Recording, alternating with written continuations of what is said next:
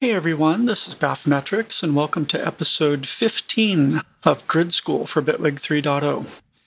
We're still in the middle of our episodes about phase, but now we get back into the easier stuff. We've dealt with all the really hard, confusing stuff about phase in episodes 12, 13, and 14. Uh, today I'm going to show you the difference between using transport LFOs versus using phase modules to drive the phase of things in the grid. And uh, in the next video, we're going to expand on that and talk about how to do some various tricks for doing half time, double time, and polyrhythms, things like that. So today's video will be really short because it's a very simple subject. And uh, as a reminder, all of the episodes in this series build upon concepts and techniques that I've explained in earlier episodes. So if you haven't yet seen uh, the full playlist for Grid School, there's a link to it in the video description, and you're probably going to want to review some of the older stuff so that everything I'm talking about today makes sense to you.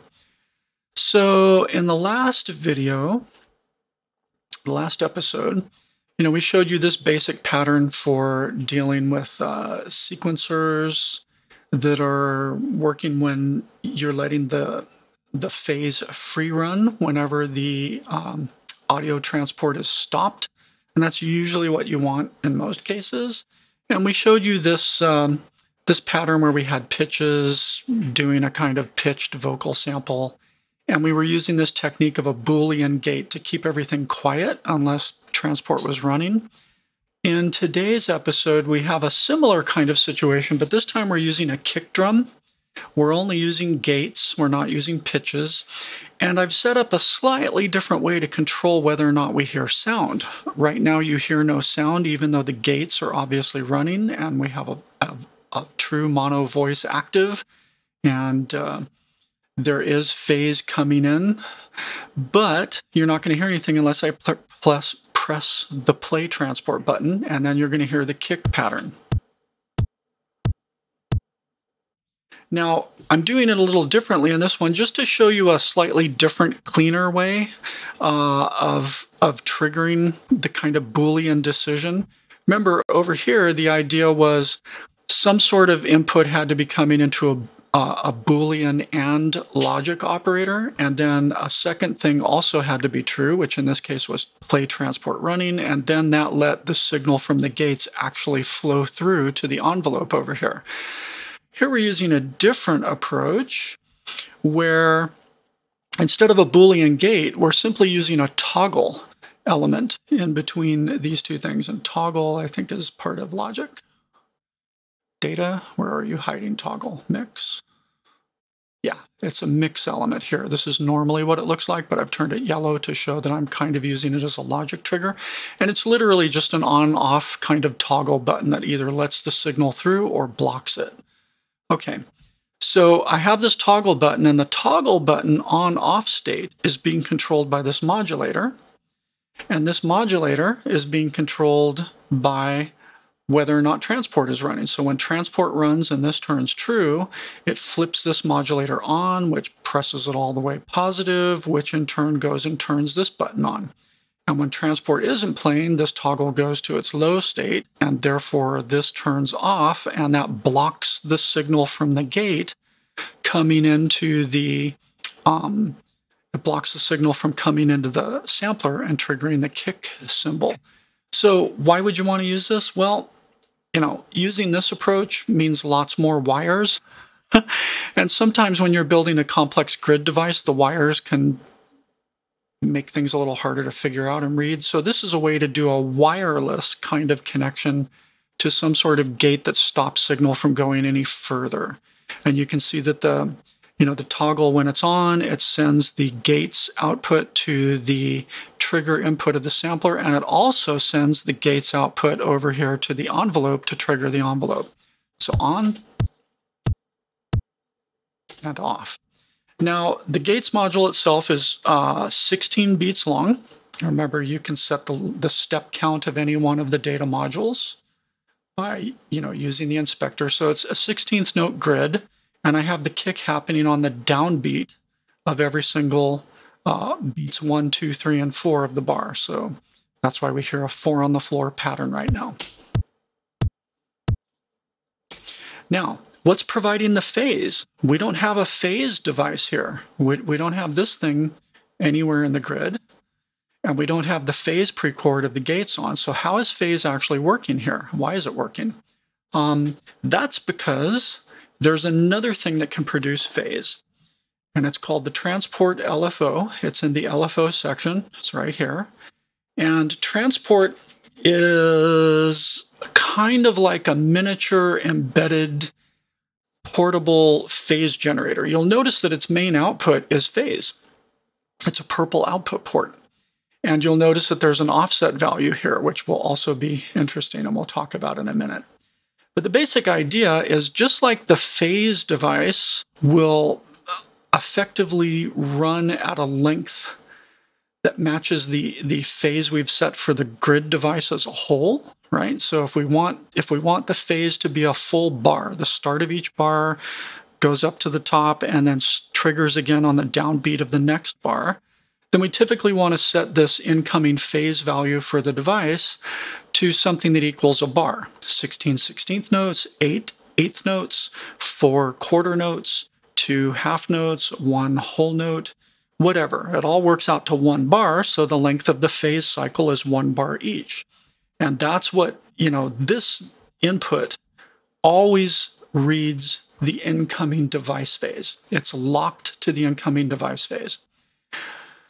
However, if you don't want to be locked to the incoming device phase and you want to have some flexibility, that's where this transport LFO comes into play because now you can independently set different phase clocks all throughout your project just by using the transport LFO. So in this case, the transport LFO is still set to 16 16th notes, which is still effectively one bar. And you can see the, the rate that this gates device is happening. You can see that the phase is lasting for one whole bar. Um, but watch what happens if I change this first numerator to 8. Now, this pattern's running twice as fast. Let's set it to 4. Every 4 16th notes is now a full cycle of the phase. So it's running, you know, four times as fast as normal. This is no longer the speed of a bar. If I want to slow it down, I could make it 32 second notes. And now we're effectively running at half time against the project tempo. This is taking 32 16th notes to go through its full cycle, right? So you can see that it's still generating phase, but it lets you flexibly set the phase. And so you could have different transport modules coming into your project at different places, all running at different phases, and you can mathematically decide polyrhythms and fun stuff like that. Now there's another way to do polyrhythms, but we're going to cover that in we're going to cover both using the transport and using the other way, the other trick uh, for doing polyrhythms. We're going to cover that in the next episode. Right now, I just wanted to introduce you to this transport device and what it does. Now, the last thing to know about the transport device is that you can also offset the phase from the normal cycle of the grid. If you remember in the last video, we talked about how um, the phase coming into a grid device is based on your arranger timeline and you know the bars and beats of your arranger timeline. So 16 16th notes lines up everything with you know the, the confines of each bar in the arranger timeline. Um, however the transport allows you to offset that phase. So if i wanted to instead make this thing always start on the fourth note or rather the, the, the second beat of the pattern, the fourth 16th note of the pattern, I could effectively make this pattern really start where, even if I have this set here, right, it would really be starting effectively here on the timeline grid. So this is just a phase offset, kind of like we use in a lot of audio devices. It's just a way to offset the phase from where it would normally be at its zero point, and you can offset it forward or back. And you can see, even as I change this, you can see the, the position or pattern moving because I keep changing the offset. So you could do some interesting things here by maybe attaching a modulator to this offset value and constantly throwing the offset around to get some strange randomness or strange resets and retiming of the, the pattern that you're running in a sequencer, just be aware that that's there and that's a trick you can use. And then this is just a logic output. And the way the logic output works is the first half of this phase cycle coming out of the transport, the logic is on or high, and the second half of the phase, it's off. And it's just a convenient way to maybe trigger something every time this cycle runs around to the beginning. So, for example, instead of having the phase transport, I'm sorry, the project transport playhead resetting the phase to the beginning of things. Like if this is active and the transport setting it, then even if my phase cycle is way over here, when I start transport, it's always going to flip back to the beginning, just like I showed you in the last video. See, we're always resetting the phase from the beginning every time I play transport. But you could, alternatively, have this setting where and when the reset happens. And then, for example, if I do an offset, to the eighth note in the pattern, if, if I'm not confused, it should restart here every time I restart the phase. So let's start it about here. No, no. The phase itself is offset, but the reset still affects where the data sequencer is. So sorry to confuse you with that. It is changing the phase, but the pattern of the sequencer is still being affected by the reset. But the point is, it's this now that always makes sure that wherever this is, it, it resets at the beginning, right? At beginning of the of the transport pattern. So that's really pretty much the basics. I wanted to show you this slightly different way of keeping things quiet unless transport was running by using this wireless technique. And I wanted to show you that this is generating phase, and it's a different way to get phase that also allows you to do some offset and possibly some interesting logic triggers. The real fun stuff's going to come in the next episode, and I'll see you for that one next time. This has been a nice short one. See you soon.